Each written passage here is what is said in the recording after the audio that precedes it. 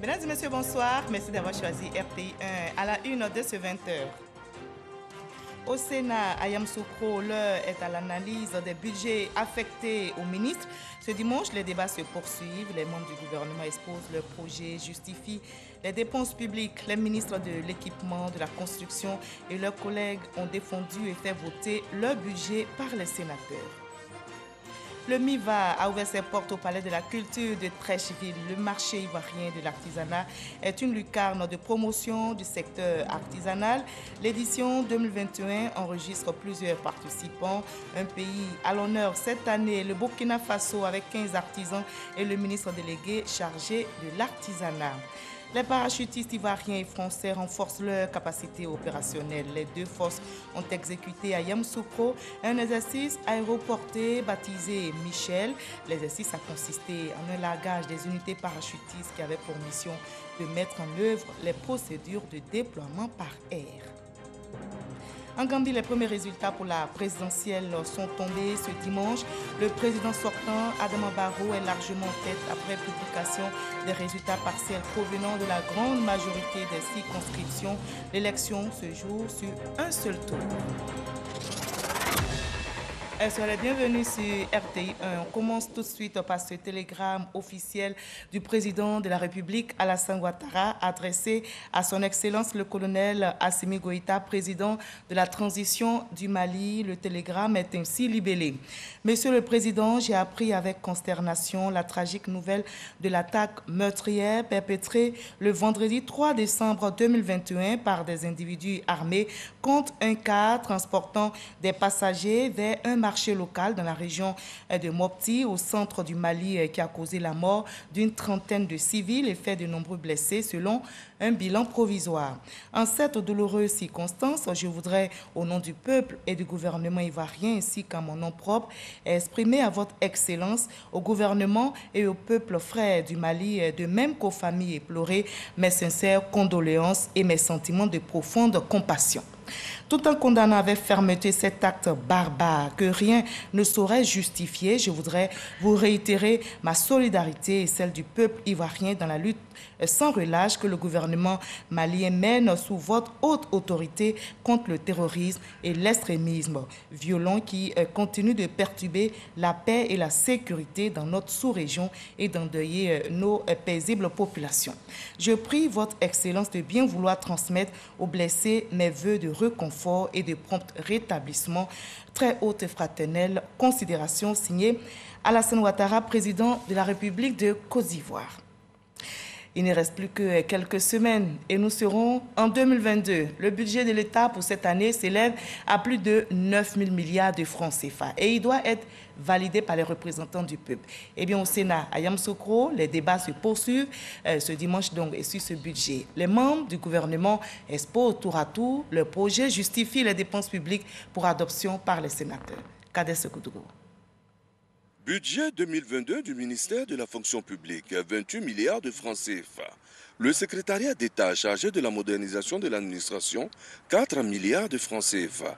Le ministère de la promotion de la bonne gouvernance, du renforcement des capacités et de la lutte contre la corruption, environ 5 milliards de francs CFA. Les responsables de ces entités ministérielles donnent un pan des actions à mener en 2022. Cet argent devra nous permettre d'avoir euh, les meilleurs outils de gestion de ces ressources humaines de l'État, depuis le recrutement, également au niveau de toute la carrière des fonctionnaires jusqu'à la retraite. Nous avons à faire en sorte que les usagers clients soient de plus en plus satisfaits de leur administration. Euh, notre budget sera utilisé sur euh, trois axes. Il y a l'axe euh, amélioration institutionnelle, renforcement du cadre institutionnel de lutte contre la corruption, l'axe amélioration de la politique de détection des cas de corruption et, l'axe 3 qui est l'axe qui vise à sensibiliser euh, nos concitoyens. La santé, 442 milliards 547 millions de francs CFA. La femme, la famille et l'enfant, 28 milliards de francs CFA. La réconciliation et la cohésion nationale, 3 milliards de francs CFA. Nous allons intensifier la vaccination, faire la promotion de l'hygiène, euh, renforcer notre système donc, de, prévention des maladies, des épidémies, mais également faire la promotion de la, santé au niveau des Ivoiriens. Nous allons également donc accélérer l'achèvement des différents chantiers importants du, programme hospitalier, mais également renforcer les capacités, le leadership du personnel soignant pour qu'il délivre des soins de qualité sécurisés et humanisés. Nous allons nous atteler à accroître les services sociaux et économiques offerts aux femmes, aux familles et aux enfants de Côte d'Ivoire. Et cela dans le but de préserver la qualité du capital humain qui est le véritable indice de développement de tout pays. Emploi et affaires sociales, 45 milliards de francs CFA. Le secrétariat d'État chargé de la protection sociale, 3 milliards de francs CFA. La solidarité et la lutte contre la pauvreté, environ 37 milliards de francs CFA. Les budgets alloués répondent à des ambitions précises. Notre politique d'emploi va consister à améliorer de façon substantielle le taux d'employabilité dans notre pays. Et notre politique de travail va consister à améliorer la qualité de la décence du travail dans notre pays. Pour 2022, il s'agira de faire de la solidarité une valeur nationale, la valeur la mieux partagée. Ensuite, pour la lutte contre la pauvreté, c'est maintenir les 227 000 euh, ménages bénéficiaires qui sont dans le projet filet socioproductif. Les sénateurs ont posé des questions. Ils ont fait des recommandations. Ces budgets ont par la suite été votés à l'unanimité. La Côte d'Ivoire se prépare à célébrer la journée internationale de lutte contre la corruption euh, le 9 décembre prochain. Le sujet a été évoqué par Hamza Diaby et son invité au magazine du dimanche. C'était dans le JT des 13h. Il a reçu le directeur du cabinet du ministère de la promotion, de la bonne gouvernance, du renforcement des capacités de la lutte contre la corruption, Amadou Kone. Voyons juste un extrait de leurs entretiens. Corruption, avec euh, les indices que nous avons, coûte à la Côte d'Ivoire environ un peu plus de 1300 milliards de nos francs chaque année. C'est 4% de notre PIB, mais mieux, c'est 4 fois l'aide au développement. Donc, il faut faire quelque chose. Ça veut dire qu'on pouvait se passer de l'aide au développement si la Côte d'Ivoire, si arrivait à maîtriser euh, cette gangrène-là qui tue l'économie, qui tue nos sociétés. On pense que quand on est nommé à un poste, on doit plutôt voir les privilèges liés à ce poste-là on doit voir ce qu'on peut faire comme malversation, malheureusement, euh, par rapport à ce poste, alors que ça devait être le contraire. C'était le challenge lié à relever le défi, parce que c'est un défi, un poste qu'on vous donne, et comment est-ce que améliorer le quotidien des Ivoiriens, qui devait être la priorité? C'est ce que le président nous demande de faire, de faire de cela notre combat. Et le ministère est engagé avec les autres institutions en charge de cette question-là, de lutter efficacement et éradiquer la corruption en Côte d'Ivoire progressivement, ce que la Côte d'Ivoire veut, c'est d'être parmi les meilleurs. Aujourd'hui, pendant la décennie, je pense que la Côte d'Ivoire l'a démontré euh, au monde entier que nous sommes un des meilleurs en termes de croissance macroéconomique. Le président nous l'a fortement recommandé. Il faut que ce soit notre objectif, devenir un des meilleurs en termes de bonne gouvernance. Et je pense que le gouvernement est en train de travailler là-dessus. Nous avons commencé à développer des plans stratégiques. Nous avons besoin de la participation citoyenne parce que ce n'est pas, ce n'est ni le chef de l'État ni le gouvernement à lui seul qui va arriver à éradiquer la corruption en Côte d'Ivoire, mais c'est les Ivoiriens. C'est les Ivoiriens qui doivent en faire une priorité. Les résultats du RGPH 2021 sont attendus à l'issue de l'opération de recensement initiée par le ministère du Plan et du Développement. Nous saurons combien nous sommes et comment nous sommes repartis sur le territoire national.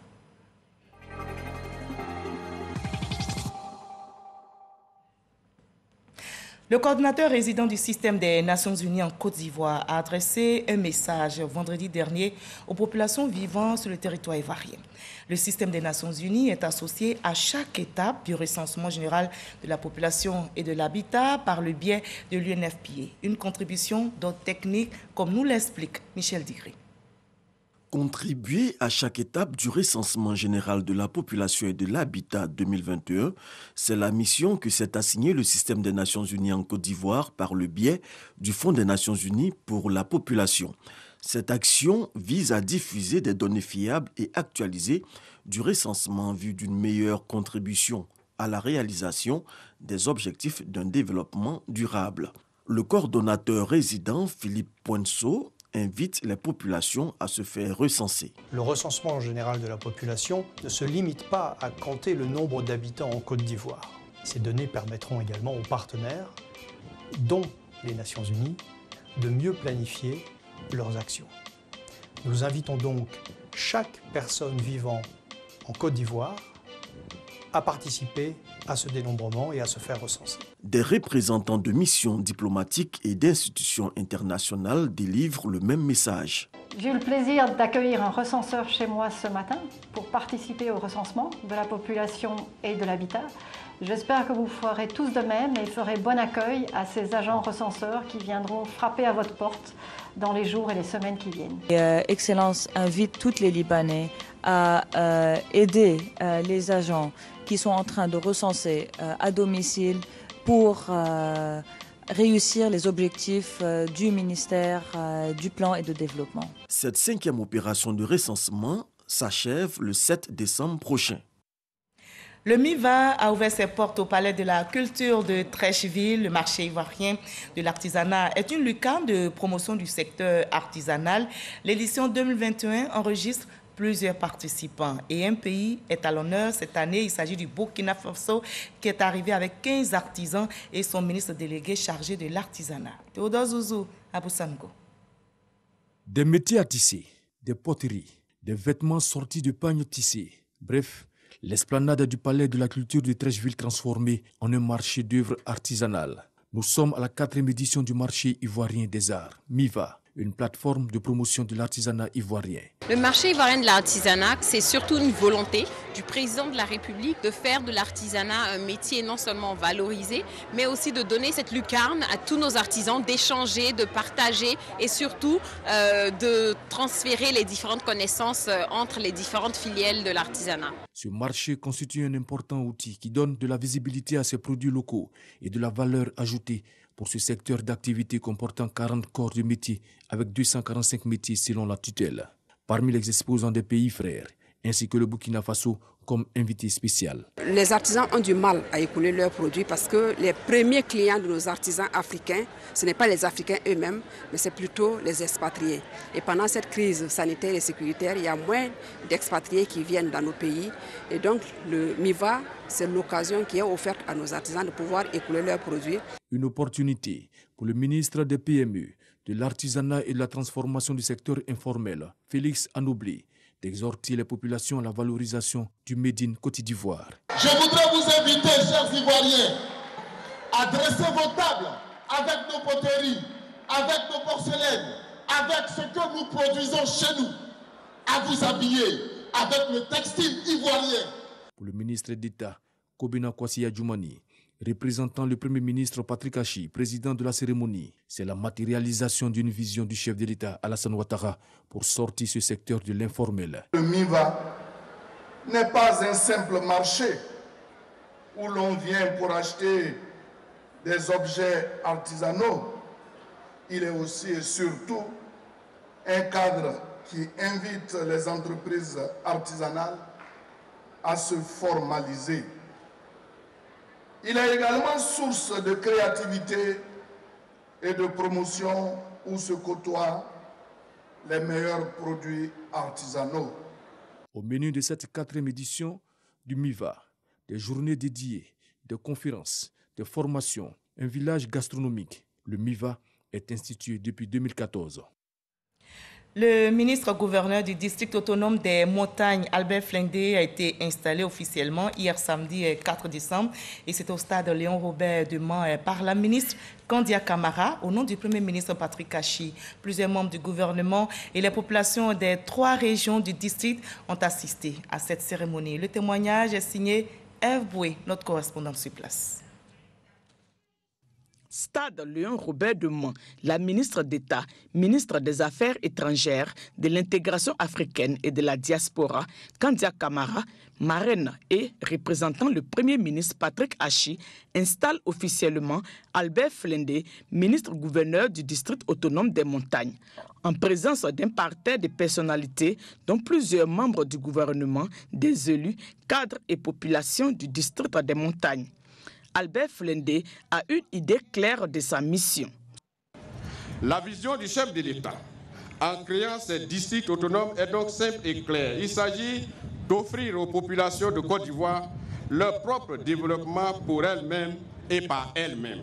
Concernant le district autonome des montagnes, nous n'ignorons pas qu'il accuse un relatif retard dans le cadre du développement. C'est pourquoi je vais m'employer en tant que ministre-gouverneur qui coordonne les activités de l'administration déconcentrée et des administrations décentralisées à présenter une synthèse de ce que j'ai comme ambition pour notre grand district. Les districts autonomes ont donc été créés pour parachever la décentralisation.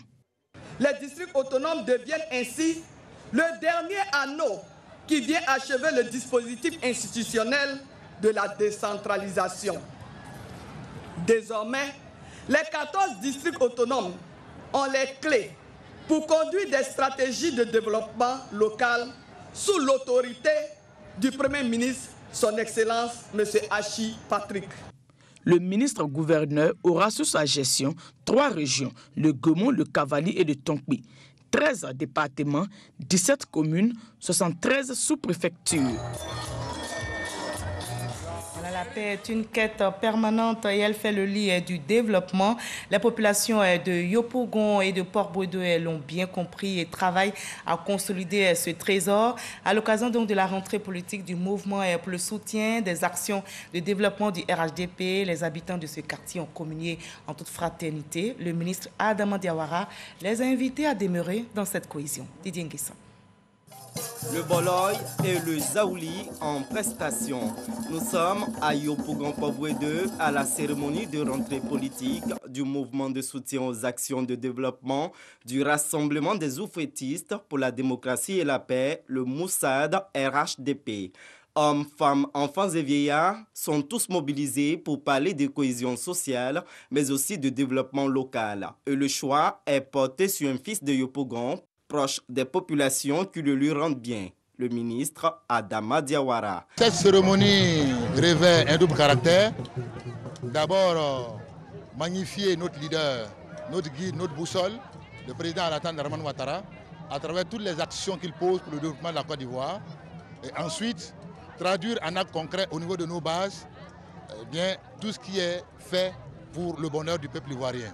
Ce sous-quartier de Yopougon, selon le Moussad, est pour le RHDP ce qu'est le KwaZulu-Natal pour l'ANC en Afrique du Sud, un bastion qui épouse surtout la politique de développement. C'est pourquoi, tour à tour, les responsables des jeunes, des femmes, ont invité le parrain Adama Diawara à les appuyer pour le financement de projets.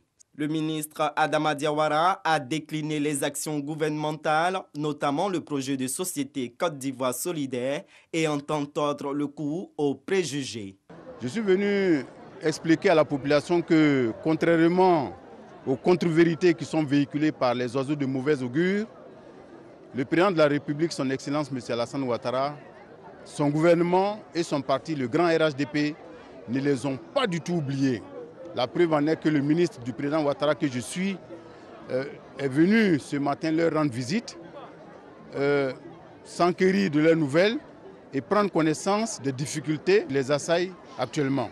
Être à l'écoute des populations et répondre à leurs aspirations. Parmi ces problèmes qui ont été évoqués ce matin, il y en a dont la résolution relève de la mairie de Yopougon. Ces problèmes-là, je vais les transmettre au maire de la grande commune de Yopougon, le grand frère Kone Kafana Gilbert. Pour les autres problèmes qui relèvent de l'action gouvernementale directe, j'en parlerai au ministre concerné. J'en ai profité également pour leur parler de paix, de l'instauration de la paix par le président Ouattara.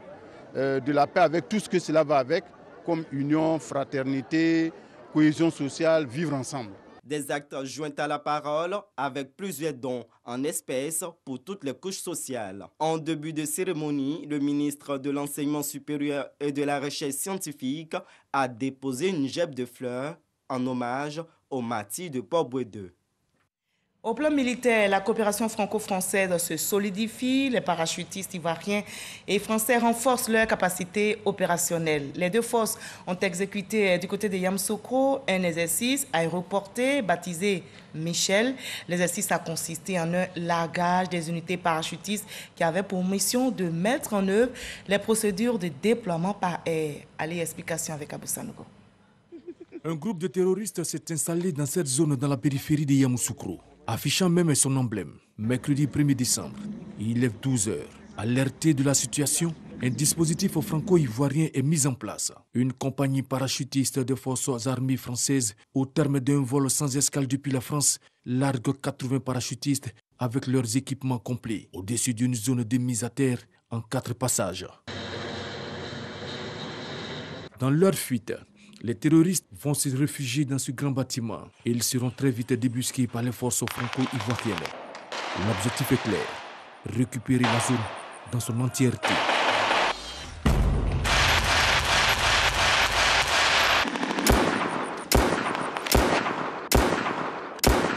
Jeudi 2 décembre, base aérienne d'Abidjan, 7h30 minutes. Les renforts se préparent. L'ensemble du parachutage du combattant est inspecté. Ces renforts français et ivoiriens seront projetés depuis Abidjan sur la même zone de mise à terre. Ils vont renforcer les dispositifs déjà en place et créer un poste de commandement tactique conjoint franco-ivoirien. Et pour ce faire, ils bénéficient du soutien du chef d'état-major général des armées, le général de corps d'armée, Lassina Doumbia, qui va embarquer à bord de l'avion de transport tactique. Dans la soute, chacun a pris connaissance de la vitesse des vents aux différentes altitudes. À 10 minutes du saut, on inspectait une dernière fois chaque homme et chaque équipement. À trois minutes, il se rapproche de l'ouverture en une colonne, puis bras écartés, il se laisse chuter.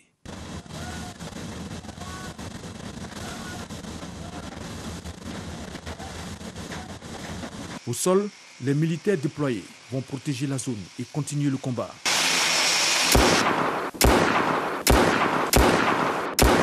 Tout ceci est un exercice aéroporté baptisé Michel, dont la finalité est de partager les savoir-faire et de développer l'interopérabilité entre les différentes unités aéroportées des deux pays. Nous travaillons pour nous, les forces françaises en Côte d'Ivoire, systématiquement en liaison avec notre partenaire ivoirien. Les parachutistes ivoiriens engagés ont pu échanger sur leur mode d'action et de montrer ainsi leur capacité à interagir. Il s'agit de driller nos procédures en cas d'un éventuel euh, engagement conjoint nous mettons un point d'honneur à ce que nos hommes soient bien entraînés, maîtrisent les savoir-faire qui leur sont exigés pour leur emploi. La Côte d'Ivoire a été choisie pour cet exercice en raison des relations de confiance entre les forces françaises en Côte d'Ivoire et les forces armées de Côte d'Ivoire, qui ont développé des compétences communes et coopèrent étroitement ensemble dans le cadre des liens qui unissent les deux pays. Voilà, et loin du terrain militaire, la Caisse nationale d'assurance maladie remet 29 motos aux directions régionales du ministère de l'Emploi et de la Protection sociale. C'était ce week-end même ici à Abidjan. Et notez que ces engins sont destinés aux différents points focaux en vue de faciliter leur déplacement pour atteindre les objectifs, entre autres d'enrôlement à la CMU. On en sait plus avec notre reporter Salima Toudia renforcer la capacité de mobilité des points focaux du ministère de la Protection sociale dans leur mission de proximité. C'est le but visé avec la remise de 29 motos à leur direction régionale par l'ACNAM, la Caisse nationale d'assurance maladie.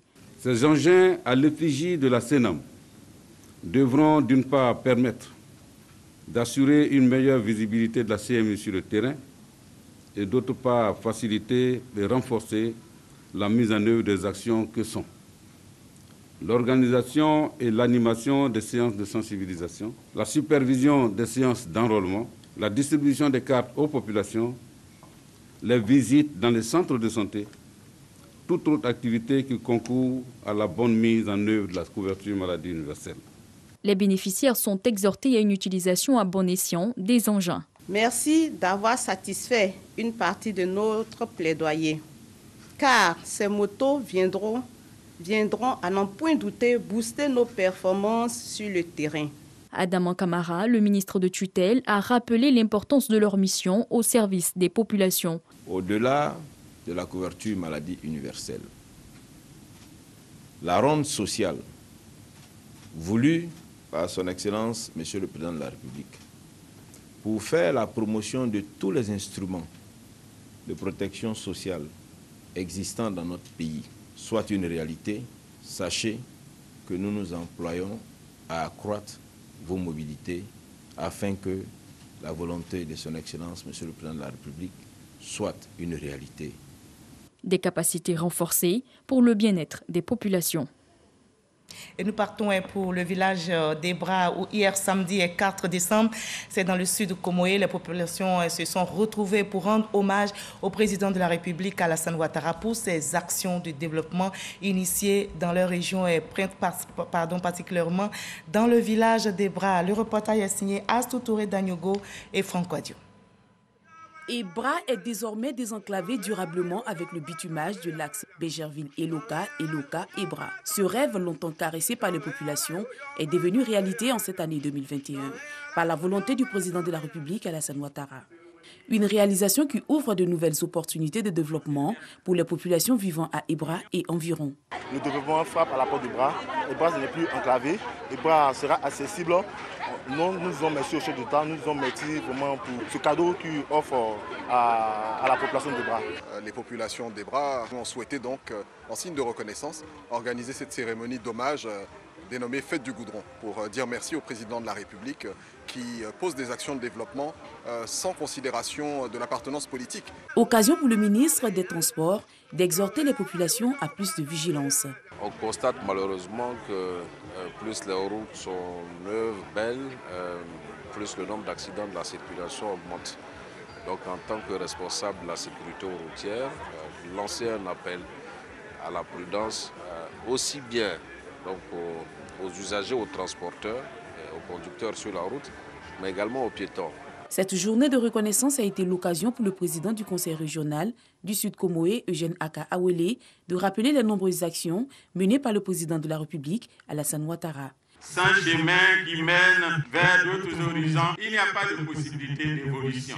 Grâce à cette infrastructure, l'économie d'ici sera plus dynamique parce que la circulation des hommes, des biens, des produits et des services sans trop facilité. Ebra sera désormais un lieu de ressourcement, de rencontre, de tourisme. Rien ne pourra désormais empêcher ceux qui veulent y passer un temps de s'y rendre et de découvrir les richesses culturelles, humaines, sociales, économiques dont cette localité regorge. Le président Alassane Ouattara démontre bien qu'il est le fils du père fondateur de la Côte d'Ivoire moderne. Représentant le Premier ministre Patrick Hachi, au patron de la célébration de la fête du goudron, le ministre Adom a rappelé les nombreuses opportunités qu'offre ce désenclavement. Aujourd'hui, Ebra retrouve une seconde vie. L'ouverture de l'embouchure du fleuve Komoué à Grand Bassam est une opportunité de reprise de l'activité économique et touristique.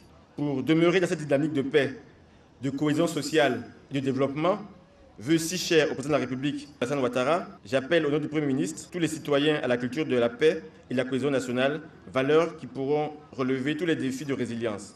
La fête du goudron à Ibra a également été marquée par de nombreuses danses traditionnelles et des dons au président de la République, Alassane Ouattara.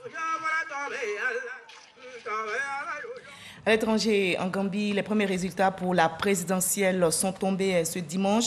Le président sortant, Adama Barrow, est largement en tête après publication des résultats partiels provenant de la grande majorité des circonscriptions. L'élection se joue sur un seul tour. Environ un million de Gambiens sur une population de 2 millions étaient appelés donc à choisir parmi six candidats, tous des hommes, celui qui dirigera pendant cinq ans le plus petit pays d'Afrique continentale. L'élection était annoncée comme un duel entre le sortant Barreau et l'opposant historique Darbo.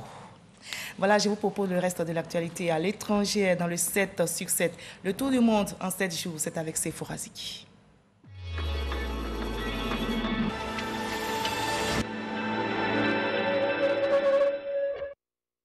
Le huitième forum sur la coopération sino-africaine s'est ouvert à Dakar en présence du président chinois. Xi Jinping a promis un milliard de doses de vaccins anti-Covid pour le continent. La Chine est le partenaire commercial le plus important du continent africain. Les échanges directs s'élèvent à plus de 200 milliards de dollars en 2019 selon l'ambassade chinoise à Dakar. Les forces de sécurité soudanaises ont tiré mardi 30 novembre à Khartoum des grenades lacrymogènes sur des milliers de manifestants réclamant à nouveau un transfert du pouvoir aux civils. Des policiers armés de fouets, selon des témoins, ont pourchassé des manifestants aux abords du palais présidentiel, l'ancien QG du dictateur Omar El-Béchir. Une dizaine de villes auraient été reprises aux rebelles tigréens, a assuré ce mercredi 1er décembre un porte-parole gouvernemental. Parmi elles, certaines sont stratégiques comme Chifra sur le front est, Shewa Robi sur le front sud et Geshena sur le front ouest. Les autorités d'Addis Abeba avaient lancé une contre-offensive et intensifié les frappes de drones ces derniers jours. Deux soldats des forces armées béninoises ont été tués dans la localité de Porga, près de la frontière avec le Burkina Faso. Un djihadiste a été abattu par nos forces, a précisé le colonel Fructueux Gbagidi, chef d'état-major de l'armée de terre, dans un message adressé aux officiers béninois diffusé sur les réseaux sociaux. Le nombre de cas d'infection au variant Omicron détecté en France monte à 12 désormais, selon le dernier bilan actualisé le vendredi 3 décembre dernier au soir par les autorités sanitaires. Plusieurs territoires français sont touchés par ce variant du COVID-19. Ce variant, d'abord repéré au Botswana et en Afrique du Sud, est présent dans une trentaine de pays et sur tous les continents. Les Gambiens se sont rendus aux urnes pour l'élection présidentielle. Samedi, les bureaux de vote se sont ouverts depuis 8 heures et devraient être fermés à 17 heures. Six candidats, dont le président sortant Adama Barrow, étaient en lice pour cette élection. Au cours d'une visite de trois jours en Grèce, le pape François a fait une escale ce dimanche matin dans le camp de réfugiés de Lesbos où vivent actuellement un peu plus de 2000 demandeurs d'asile. C'est la deuxième visite du souverain pontife après 2016 sur cette île grecque symbole des flux migratoires à destination de l'Europe. Il a exhorté les pays de l'Union européenne à agir urgemment sur la question.